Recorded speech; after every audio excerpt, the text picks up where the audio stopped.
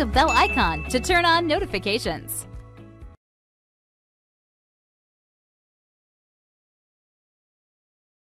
In order for a project to work and flow correctly, project tasks need to be performed in the right sequence. And when it comes to a project plan, task dependencies or links basically define the sequence of the tasks.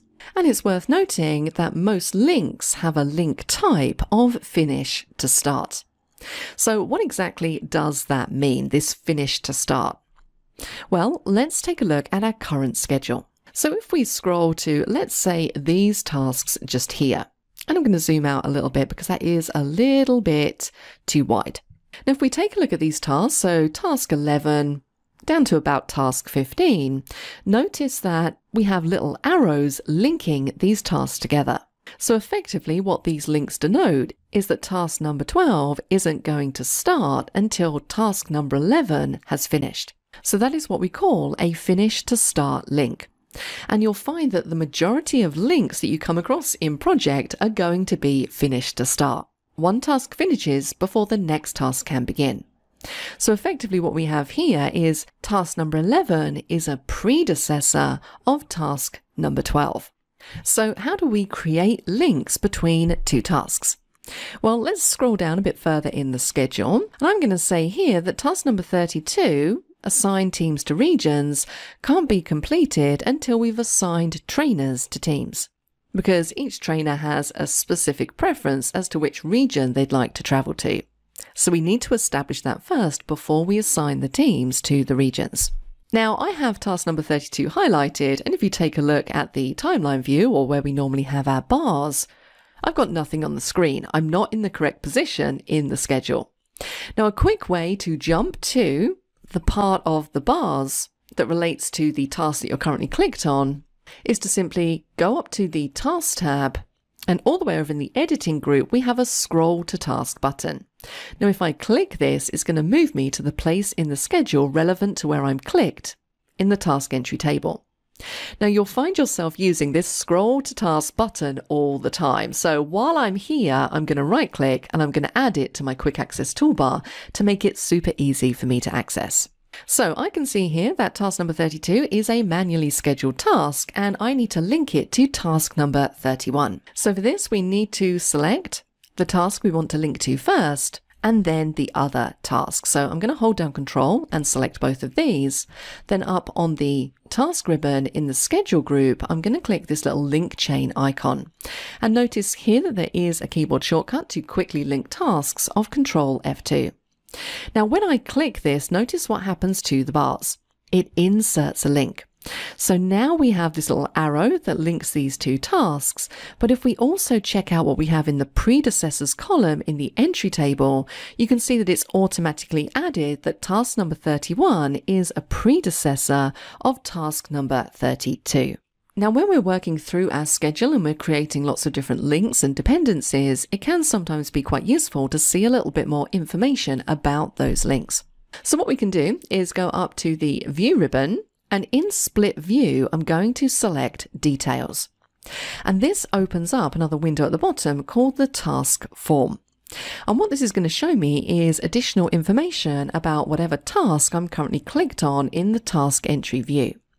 So if we take this linked task, for example, if I click on task number 32, I can see some further information. I can see the name of the task, the duration, the fact that it's manually scheduled, the percentage complete. And if I take a look over on the right hand side, I can see the task that it's linked to. So it's linked to task ID 31, assign trainers to teams, and it's telling me that the task type is FS, which basically means finish to start.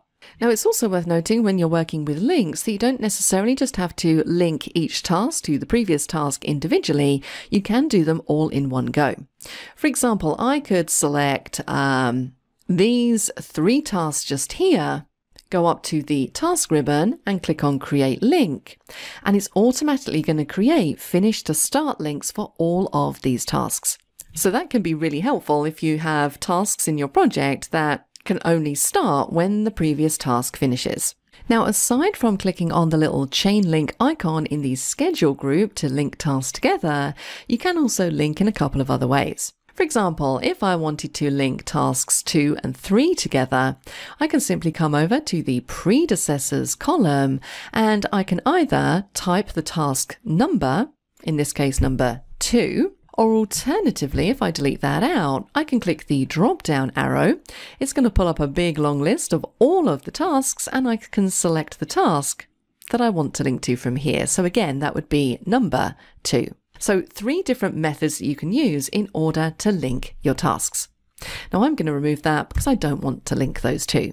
Notice as I did that, as I added that link, check out the cells that are showing as being changed. The dates for all of the tasks below changed because of that link I just created. And that is why these are showing as changed cells. Now we do have other task types that we can add in. As I said, by far finish to start is the most common. But we also have finish to finish links that we can add, where the finish of one controls the finish of another. And then we have the two rarest task types, start to start and start to finish. And those really aren't used very often. And I will say that something like start to start can be quite problematic. If the predecessor task starts and then is delayed, it could finish after the successor. And start to finish means that the start of one task triggers the finish of the other.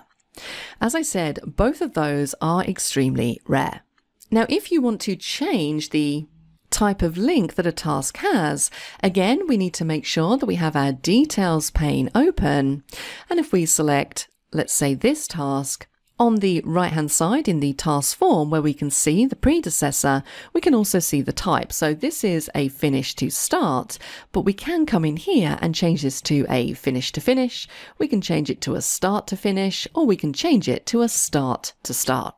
And this subject is definitely something I recommend reading the help files on so you get a really good idea as to the types of scenarios, the types of tasks where you might have to use a different link type. And if we take a quick look in the help files, you can see here underneath types of tasks, we have those different link types and a full description. And in this description, it gives you different scenarios where these might come up. So I definitely recommend having a read through so that you know if and when you need to apply those to your project plan. If you're not a subscriber, click down below to subscribe so you get notified about similar videos we upload. To see the full course that this video came from, click over there. And click over there to see more videos from Simon Sez IT.